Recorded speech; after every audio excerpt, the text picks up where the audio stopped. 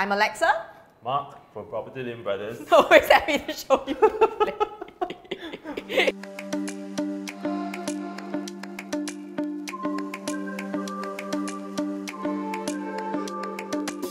Welcome to another episode of Property Lim Brothers Landed Home Tour. Today we're in D16 where I'll be showing you a freehold corner terrace. They actually share the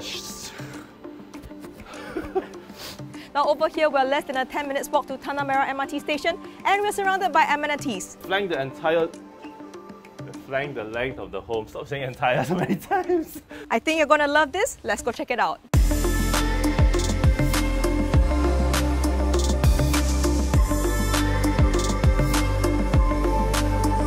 So let us talk more about the location. So this spacious house is located along Upper Changi Road in Peakview Estate, which is nestled in a huge enclave of landed houses in the Tanah Merah area. Upper Changi Road is actually a single-lane, two-way road, mainly catering to residents in this estate to return home after a hard day of work so you definitely do not have to worry about the noise as there is no heavy traffic passing through. There is also thoughtful planning for the residents as you can see that there is quite a deep setback comprising of greenery separating the house and the road. So from our house, it is an easy 8 minutes walk to Tanah Merah MRT on the east-west line. From Tanah Merah, we are just 2 stops away from Tampines Station that connects us to the downtown line. We are also just 4 stops away to Paya Lebar Station which connects us to the Circle Line. You'll also be glad to know that we are only 3 stops away to Pasir Ris where you can expect a faster and more convenient travel in the future when the Cross Island line is up by 2029. For those of you who drive, over here we are well connected thanks to the PIE, ECP and TPE. You can reach the Central Business District area and the Orchard Road shopping belt in 30 minutes.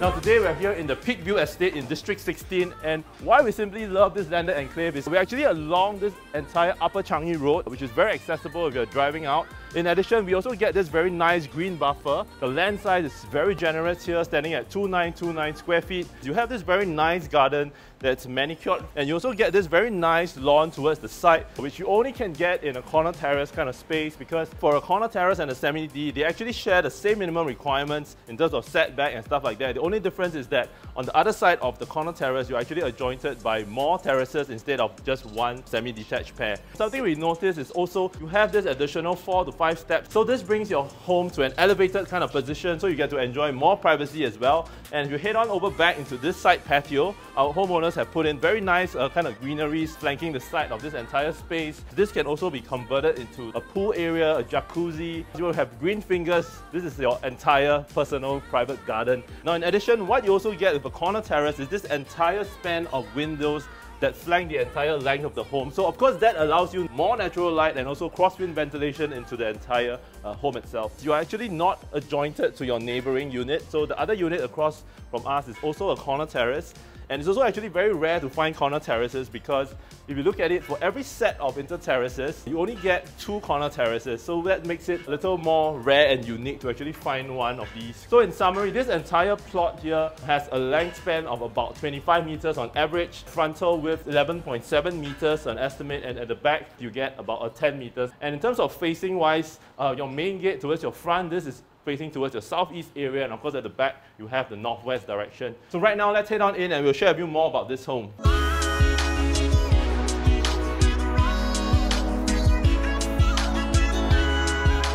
So this now has a full three bedroom type of setup. On the first level, you actually get a living dining area. There's also an additional study that's also convertible to a bedroom. And if you want to, you can also convert a one more kind of helper's room right at the back on over here. The entire back of the home, you also get this very nice setback for you to do your laundry area. And at the side, of course, earlier on, we showed you the side patio as well. And if you head on to level two, that's where you'll find the three full bedrooms, a master bedroom with an ensuite bath, and also two common bedrooms with a common bathroom as well. Now let's kick off the home tour with the living room. And what I simply love about this entire home is once you enter, you're greeted by this well-preserved colonial French type of doors, bifolding type of system. So if you want to have guests over, you can actually open this all the way up push it all the way to the side, so basically there is no obstruction. Of course, your living room, as you come in, is also fronted by a lot of panels of windows right here, which allows in a lot of natural light. So this is towards your southeast facing. Now your living room space is in a very squarish type of layout, which allows you to have multiple configurations for your living room space, especially where you want to put your couch.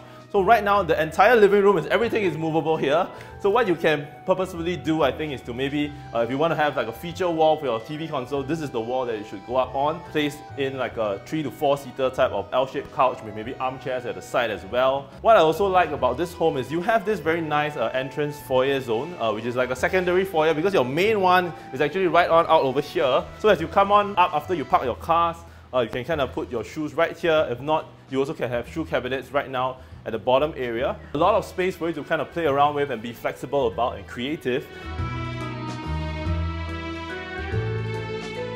Right now you have a 6-seater placed in, but I'm sure this can go up to like a 10 or 12-seater if you want to. And this is the room that is uh, a bit like a flexi room in today's context because now uh, it's being used as a very nice a study, a very bright one with like four fronting panels of windows right here. You get very nice uh, natural daylight that streams in from these four huge panels of windows in your study area. Uh, what you can also do is convert this to a full-on bedroom itself. What you can do is erect maybe your wardrobes over in this wall over here and then your bed can come somewhere in this corner.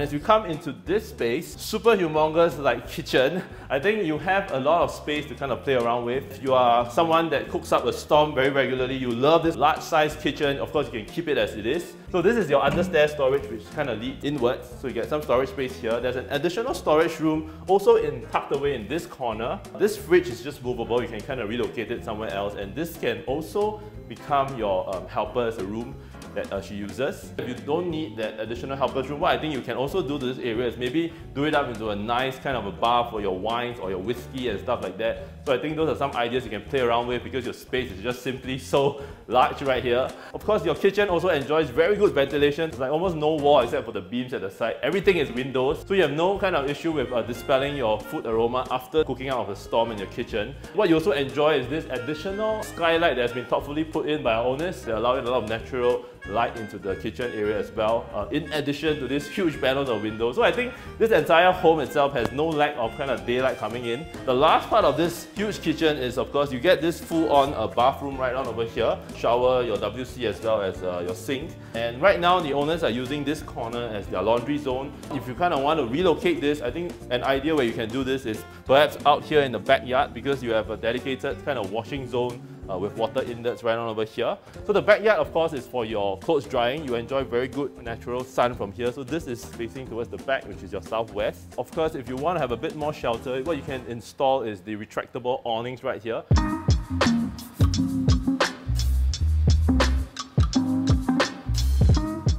Now before Alexa shows you the rest of the home from level 2, uh, let's have a look at some of the pricing analysis within this Peakview estate. Now zooming into the vicinity of Peakview estate, there is actually a very limited supply of corner terraces and terraces on the market. So if we have a look at the 99-year leasehold type of landed properties, we have the cluster development like Summer Gardens, TOP in about 1995, uh, putting it at a balance lease of about 73 years. asking prices are going at about 2.1 to 2.3 million. And if we do a quick lease refresh back to the 99 years, that puts us at about 2.84 to 3.11 million. If we have a look at what's on the market today, now one of the recent transactions was a home at Cannery Park with a similar size that was sold at about 1,700 odd per square foot at about 4.4 million just a few months back.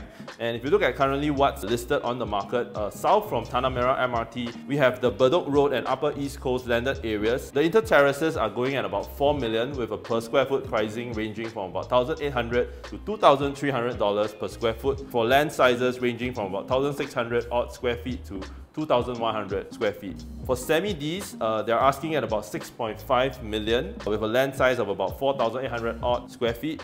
Now, if you're looking at some of the newer builds, let's have a look at what's on the market today. So we don't see any corner terraces that are on the market right now if you're looking for new builds, uh, but there are two semi-detached that are on the market right now going at about 6 to 7.8 million uh, with per square foot pricing asking north of $2,000 per square foot. Now, if we come back to our unit here at Upper Changi Road, uh, ours is a corner terrace, a land size of about 2929 square feet. Uh, our asking price is listed at 4.48 million, which puts it just at about 1530 PSF. If you are planning to simply just move in your family, maybe do a light renovation, you can have this full four bedroom setup right here. Five to 10 years down the road when the market has picked up and prices have kind of gone up as well. What you can then do is actually take on an equity type of loan to maybe do some A&A or even to do a full-on rebuild if you choose to do so. So of course, these are subjected to the bank's approval, so do reach out to your bankers if you're kind of exploring this route as well. And we think here at PLB that this home actually hits the trifecta sweet spot in terms of uh, accessibility. We are just within 8 minutes to the Tanah Merah MRT. We are listed at 4.48 million, which puts us just under the 1,600 odd per square foot mark. This is a freehold land for you to hold.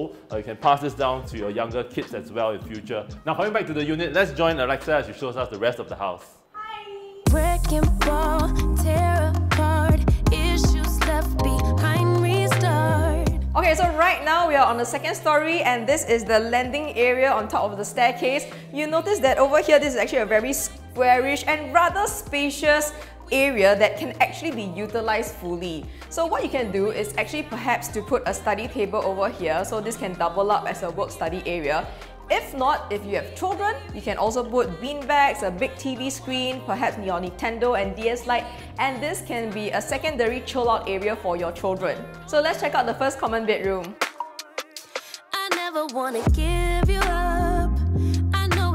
So this is actually the smallest room out of all of the three bedrooms available on the second floor and you notice that even though this is the smallest bedroom, the size is big enough such that you can actually comfortably fit in a queen or even up to a king size bed. So this is definitely a very generously sized common bedroom. We do have a built-in 5-panel wardrobe, lots of storage, definitely enough for your clothing if you needed to. And you notice on this side of the wall, there has been no built-in, but if you wanted additional storage space or bookshelves, you can actually do up them against this wall as well. So in the current setup, we do have a single bed that is placed right next to the window. And what this means is that every morning when you get up and you look out of the window, you are greeted by this beautiful greenery in front of you.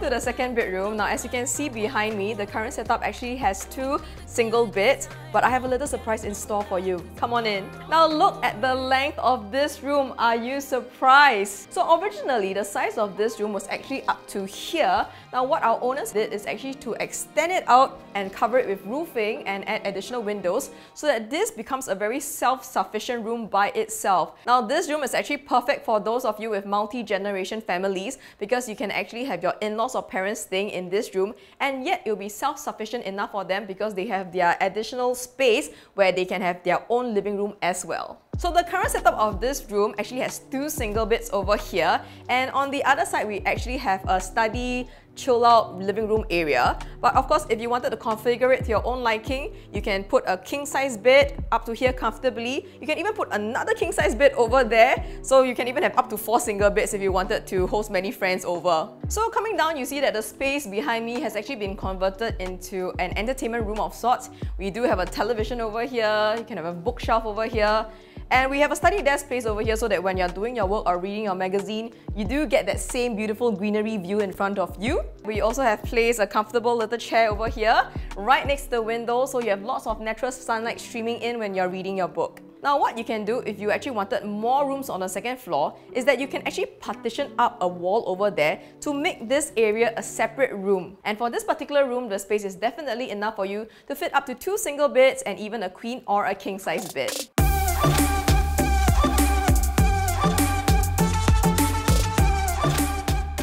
Share more about the future potential growth in the Tanah Merah and General East region. So in the recent Tanah Merah Kechil Link government land sale, it attracted a total of 15 bids and the highest bid went to MCC land and this area has been zoned as residential with commercial on the first story. Now located right next to Tanah Merah MRT interchange, the site has an area of 8,880 square meters and can potentially yield 265 condo units and 2,000 square meters of commercial space. What this means is that this house can actually attract potential upgraders from these areas. Looking at the master plan for the Changi region, we also note that a lot of vibrancy is being brought to the east side. Now Changi region is set to become a vibrant and thriving economic hub, with Changi Aviation Park, which is set to cater to new aviation-related sectors and businesses that rely on air connectivity to the world. Changi City is also set to be transformed into a waterfront district and once fully developed, it will offer exciting new recreational and tourism possibilities and seamless intermodal fly ferry linkages from Terminal 5. Now, the Thomson East Coast Line will be extended from its original last terminal at Sungai Bedok to Changi Airport, passing through the future Terminal 5 and eventually connect to Expo and Tanah Merah stations. So it looks like for residents living in the east area, you do have a lot to look forward to in the future.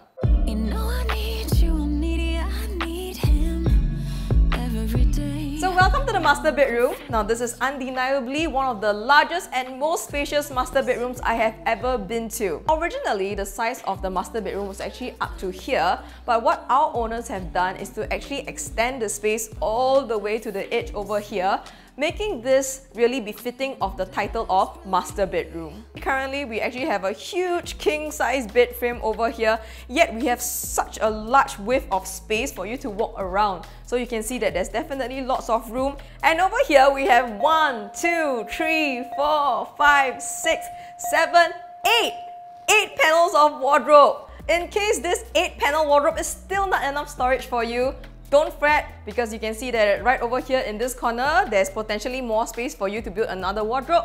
And if not, you can also look right outside over here where we have a nice gap to either put a dressing table or additional wardrobe for your clothes. Our master bathroom also comes with a two-panel sliding door standing shower. Now the condition of this toilet is actually still pretty good and well maintained. But of course, if you wanted to, what you can do is either do a chemical wash or perhaps just do some simple renovation to revamp the look of the bathroom. So all in all, this is a very generously sized master bedroom with lots of potential and room for you to do more, such as adding an additional walk-in wardrobe or even building your home and office workspace within the room.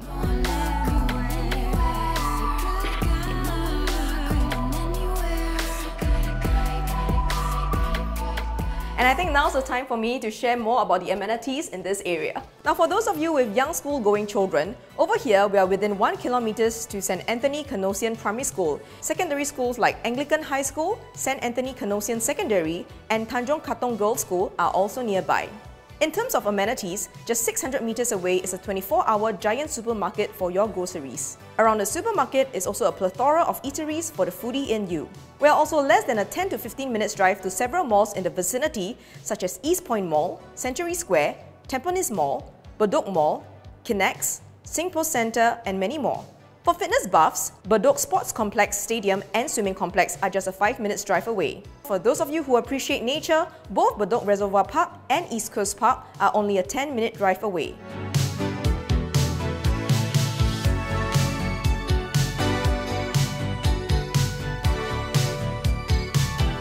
Now, if you're looking for something that is freehold status here in District 16, you want a corner terrace, you want something almost ready to move in, just do a simple renovation. You can bring your family right on to live here. And in future, you still have future potential to kind of rebuild to the three and a half story kind of mark. And if you're keen to view this corner freehold terrace with us, do give our listing manager a call. Thank you for staying with us throughout this home tour. Now remember to click the like and subscribe button on our Property Lim Brothers YouTube channel page. We are also on Facebook, Instagram and TikTok. I'm Alexa. I'm Marc. Property Lim Brothers, always happy to show you the place. Eh, where is it? It's here. Large uh, frontage standing at 11.7 meters.